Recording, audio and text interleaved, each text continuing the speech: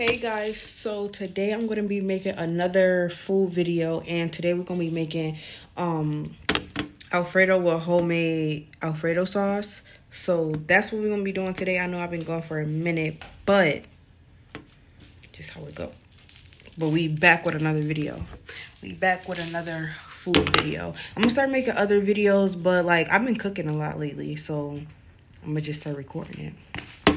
But yeah, but we're gonna get right into okay, it. Okay, so right here I had already prepared the noodles, so I'm just showing y'all. And um always wash your chicken before you do this part. Like I already had washed my chicken and did all of that before I cut it. And then I did it after, but you're gonna see once the video keep going. I diced my chicken up in medium like sizes because once you fry them, they're gonna shrink. And this is showing y'all like how dirty the chicken was. At, even after I diced them up because I washed it before and after I diced it. And um I tried my best showing y'all the seasoning that the seasonings that I use, but you can literally see the seasoning and then once you get in the store, you're gonna know right after jump which one it which one it is. But um I pour both of the Sazon, whatever you call it. Um, I pour both of it on the chicken. Then for the garlic seasoning, as you can see, I only did a little bit of it because you don't want to over season your chicken. Like, see, for all the other seasonings, I don't I didn't do too and much. And then right here I'm just going in with the bowl. I like but, doing the bowl better. I noticed that I really like doing the bowl better as in putting the chicken inside of the bowl, seasoning the bowl and like mixing it together with my hands because it makes it so much more like I don't know, like it made the seasonings really like touch for real.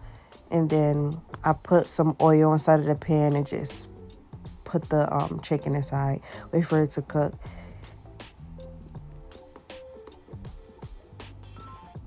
You could, I was going to use butter. You could use butter too, but I didn't. I just used the um, oil.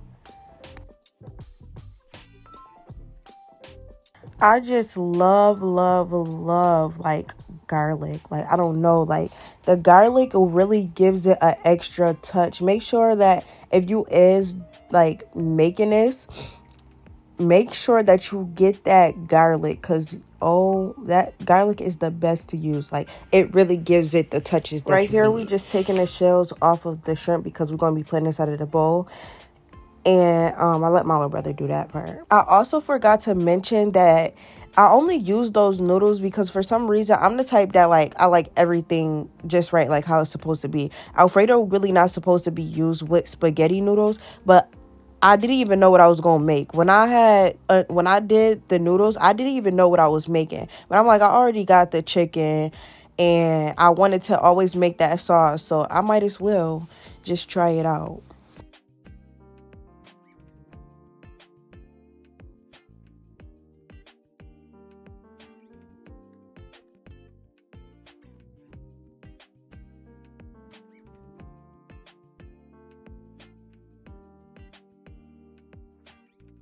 Right here i didn't actually film the part where i poured the heavy whipped inside but i put heavy whipped and then put the, the same seasonings and stuff that i use for the chicken. And then um, i put some cheese inside as you can see and just let it sit until i got that like that thickish texture like how the original like Alfredo sauce comes out of the bottle. Like we need that texture. So right here, I got done with the Alfredo sauce. I'm just pouring it on the bowl. I also made another batch of the Alfredo sauce to, I mean, of the Alfredo and Alfredo sauce.